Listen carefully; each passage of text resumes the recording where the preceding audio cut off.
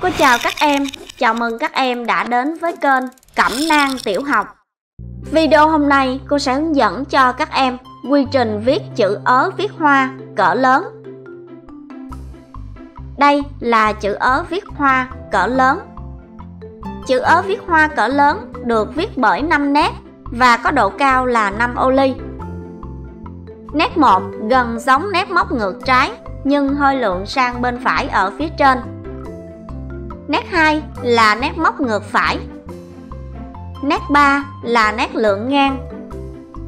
Nét 4 và nét 5 là hai nét thẳng xiên ngắn nối nhau tạo thành nét gãy, nhọn ở phía trên để tạo thành dấu mũ. Bây giờ các em hãy theo dõi video hướng dẫn quy trình viết chữ ớ viết hoa cỡ lớn.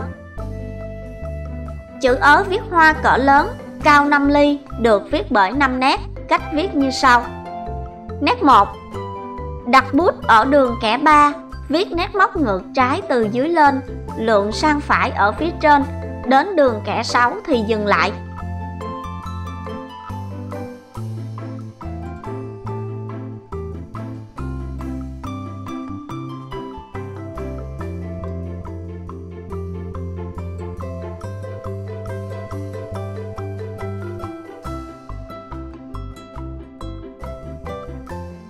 Nét 2 Từ điểm dừng bút của nét 1 Chuyển hướng bút, Viết tiếp nét móc ngược phải.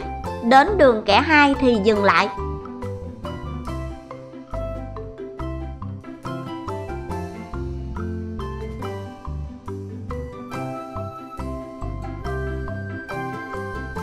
Nét 3 Từ điểm dừng bút của nét 3 Lia bút lên khoảng giữa thân chữ, Gần phía bên trái nét 1 Viết nét lượng ngang thân chữ từ trái qua phải.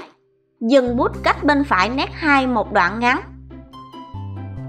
Nét 4 và nét 5 viết nét thẳng xiên ngắn trái nối với nét thẳng xiên ngắn phải để tạo dấu mũ trên đầu chữ A.